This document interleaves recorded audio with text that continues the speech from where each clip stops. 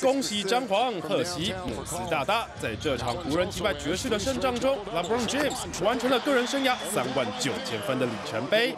作为当今联盟的历史得分王，这项纪录当然也是史无前例。就连什么大风大浪没见过的皇帝本人，也难以言喻这美妙的滋味。I have not got congratulated by all my teammates and coaches, things of that nature, and um I haven't had an opportunity to really.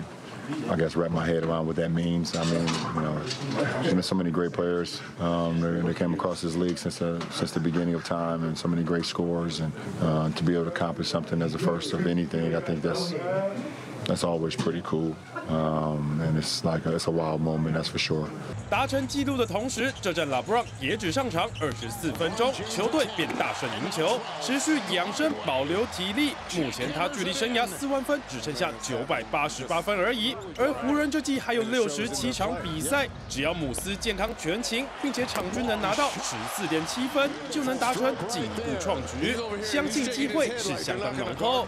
而跟上东区 A 组六马的脚步，湖人也以四战全胜的成绩 提前晋级季中锦标赛八强。让过去对时的传奇中锋 Shaquille O'Neal 有些难以置信。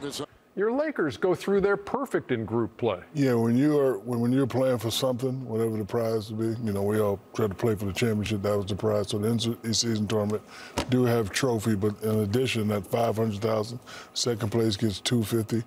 As an athlete, when you put your mind to it and say, okay, we have to do this in a short period of time to get it done, Lakers are playing very, very focused. I, I wonder if they could play like they played tonight all the time. It is what it is. Obviously, you know, we in the tournament, so um, you know it's always great to be able to be victorious and uh, have another way to to have another home game. So that was that was great. We were able to, to uh, take care of business that way. 之所以姆斯如此强调以分组第一之姿晋级季中锦标赛八强有多重要，那是因为摊开数据一看，这季的紫金军团到目前为止主场赛事竟然有着七胜一败的超狂战绩。或许在本季强队环伺的情况下，湖人想重返冠军荣耀还有一定难度，但要是能在季中锦标赛一路过关斩将，并在赌城拉斯维加斯捧起金杯，或许将能稍微的满足洛城球迷。